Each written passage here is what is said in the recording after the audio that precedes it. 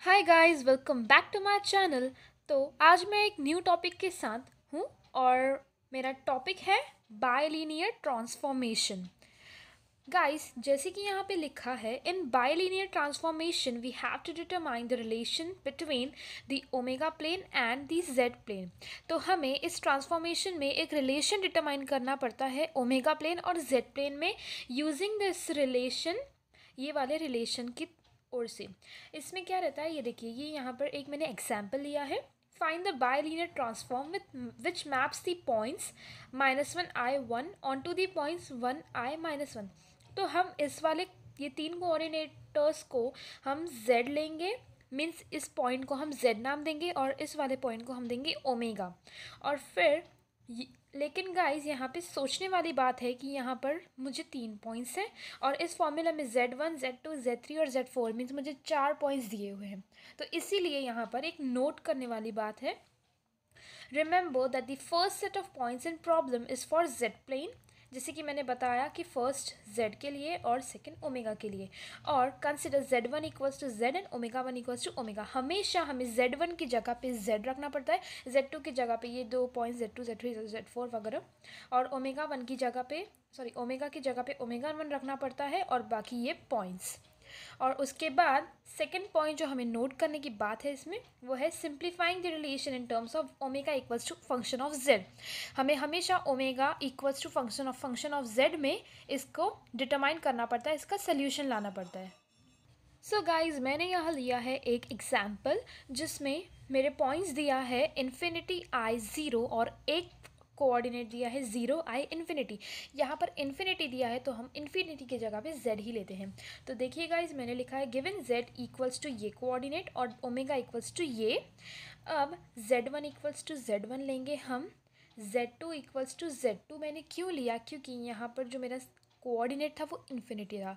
तो फ़िलहाल के लिए हम इन्फिनिटी की जगह पे जेड टू लेंगे। Z three equals to i and z four equals to zero similarly omega में वो लगता है। अब मैं ये सा, ये सारे कोऑर्डिनेट्स में ये सारी वैल्यूज़ वो बाइलिनियर ट्रांसफॉर्म के रिलेशन में लिख, डालूँगी। तो गाइस ये है मेरा z z sorry bilinear transform का रिलेशन ये और इसमें मैंने ये सारी ऊपर की वैल्यूज़ डाल दी हैं। अब हम इन सबको सॉल्व करेंगे। सो so गाइज़ मैंने ये नेक्स्ट स्टेप अभी भी सॉल्व की है जेड टू माइनस ज़ीरो को लिखा है जेड टू और इसी तरह से मैंने इन दोनों साइड से सॉल्व कर लिया है। अब नेक्स्ट स्टेप में हम यहाँ से Z2 को कॉमन निकालेंगे डिनोमिनेटर में और यहाँ से ओमेगा फोर को कॉमन निकालेंगे क्योंकि इन दोनों की वैल्यू यहाँ पर इन्फिनिटी है क्वेश्चन में। सो गाइस चलिए करते हैं। सो so गाइज़ मैंने यहाँ से इस ब्रैकेट में से Z2 को कॉमन निकाला है और यहाँ से ओमेगा फोर को कॉमन निकाला है। अब ये और ये ओमेगा फोर कैंसिल और यहाँ से Z2 कैंसिल अब मैं नेक्स्ट स्टेप में इस Z2 की वैल्यू और इस ओमेगा फोर की वैल्यू इन्फिनिटी पुट कर दूँगी। सो गाइज़ इस स्टेप में मुझे रिज़ल्ट कुछ इस तरह से मिलेगा कि आई अपॉन इन्फिनिटी मतलब वन अपॉन इन्फिनिटी होता है ज़ीरो तो इसीलिए मुझे ये पूरा टर्म ज़ीरो मिल जाएगा। तो इसीलिए मैंने लिखा है वन माइनस ज़ीरो और यहाँ पर भी मैंने लिखा है ज़ीरो माइनस वन अब नेक्स्ट स्टेप में सीधा सीधा हमको आंसर ही मिल जाएगा। ये देखिए, कुछ इस तरह से ये माइनस इसे चला जाएगा। अब मैं यहाँ पर सीधा सीधा क्रॉस मल्टीप्लिकेशन कर सकती हूँ। सो so गाइज़ मैंने यहाँ पर क्रॉस मल्टीप्लिकेशन कर दिया है। अब मैं यहाँ पर माइनस आई को इस टर्म में मल्टीप्लाई करूँगी और यहाँ पर जेड को इस टर्म में मल्टीप्लाई करूँगी। मल्टीप्लिकेशन के बाद मुझे कुछ इस तरह से टर्म्स मिल जाएँगी। अब यहाँ पर आ रहा है आई स्क्वायर और अगर आप लोगों ने कॉम्प्लेक्स नंबर का चैप्टर पढ़ा होगा तो आई स्क्वायर की वैल्यू होती है वन तो मैं i square sorry minus one तो मैं आई स्क्वायर की वैल्यू डाल दूँगी minus one so so guys हमें हमारा इक्वेशन कुछ इस फॉर्म में मिलेगा और यहाँ पर देखिए माइनस आई जेड और यहाँ पर भी इक्वल टू की साइड में माइनस आई जेड तो हम डायरेक्टली इन दोनों को कैंसिल कर सकते हैं।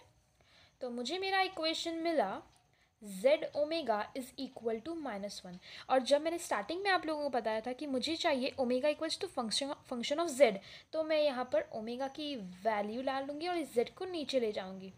तो मुझे मिला omega equals to minus one upon z तो गाइज़ ये रहा मेरा final equation omega equals to function of z में। सो so गाइज़ इसी तरह से हमें बायलिनियर ट्रांसफॉर्म को सॉल्व करना है। सो so गाइज़ कैसे लगा आपको मेरा वीडियो अगर पसंद आया हो तो लाइक शेयर और सब्सक्राइब ज़रूर करना।